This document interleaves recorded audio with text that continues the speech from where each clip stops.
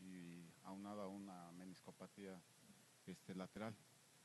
Entonces se tomó el tiempo prudente para que no se llegara a esta última instancia, pero hoy este, no podemos seguir tan especulativos en torno a esta decisión porque finalmente el chico pues, este, tiene que estar recuperado al 100% y la mejor opción hoy es este, ya este, tomar la decisión que en coordinación con el cuerpo técnico y la directiva y el mismo jugador este, se tendrá que someter a cirugía. Eh, se hará en Guadalajara por el doctor Rafa Ortega eh, la próxima semana. estamos cumpliendo con los trámites administrativos, pero en principio la próxima semana. Serían cuatro o cinco meses.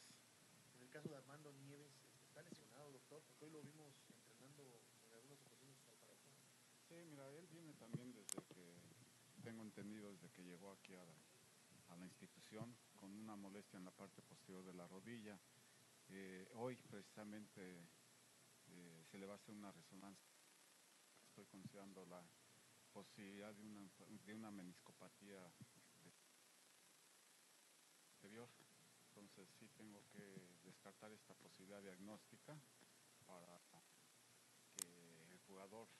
le permite integrarse totalmente al trabajo, eh, ya que eh, él viene trabajando como puntualizabas, puede hacer todo, pero termina con esa molestia. Tu lado humano te dice que ya no hay más. Tu lado tiburón te dice que es hora de continuar. Saca tu lado tiburón